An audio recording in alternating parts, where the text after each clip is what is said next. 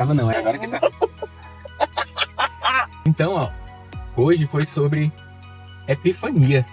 Você sabe o que é epifania?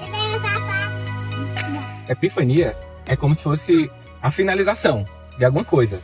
Acabou, é isso aí. Revelado.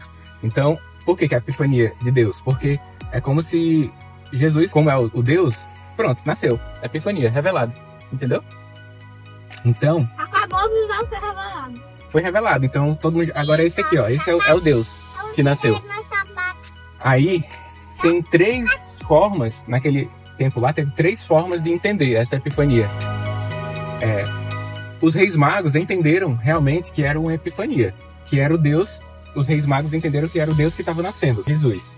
Só que o Herodes entendeu que estava nascendo um rei que tomaria o seu poder na terra. Mal sabia ele que ele veio, o Jesus veio para servir, né? Para tomar o poder dos homens do rei, especialmente Herodes. A segunda interpretação foi pelos estudiosos da lei, né, de Deus, que eles não entenderam que Jesus era o Deus. Bem, Os estudiosos teólogos da época. Só que os, os três reis magos, guiados pela estrela, vieram do Oriente e adoraram ao Deus que eles sabiam. E aí, por que que eles, que eram tão de distantes, conseguiram entender que era o Deus que estava nascendo no formato de homem? acho que ela. A estrela, exatamente. É uma forma de Deus nos ensinar através das escrituras A estrela de Davi. Exatamente. Que existe uma luz que aponta para Deus, para a verdade universal, e que essa verdade, essa luz, atinge pessoas até mesmo de longe. Como estrela. Porque a estrela é essa representação de que existe uma luz, existe um, um- um guia que nos aponta para a verdade eterna. Você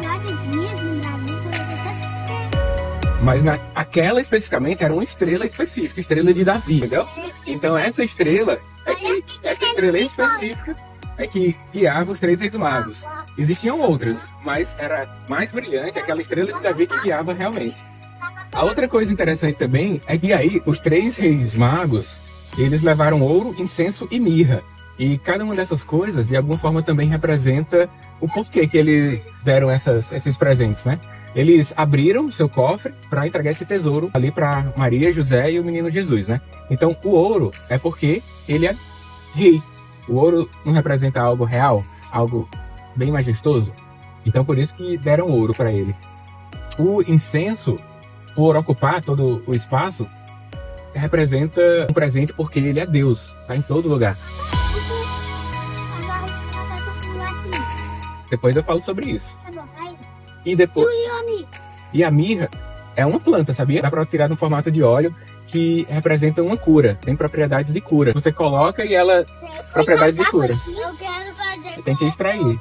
Mas aí Faz a plantinha, é? não sei como é que extrai não. Aí representa para Deus a mirra aquele presente com a propriedade dele nos reviver, né? Ele não vive dentro da gente, o reinado dele, nós somos parte do corpo. Então, então esses três presentes têm essa representatividade, por isso que eles deram essas três coisas. É o rei, é o Deus e é o Espírito Santo.